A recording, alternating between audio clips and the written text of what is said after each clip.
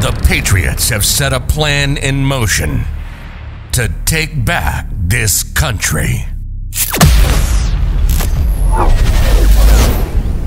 But before that happens, the DS system need to be brought down, the entire system. Trump need to sacrifice himself for optic reason.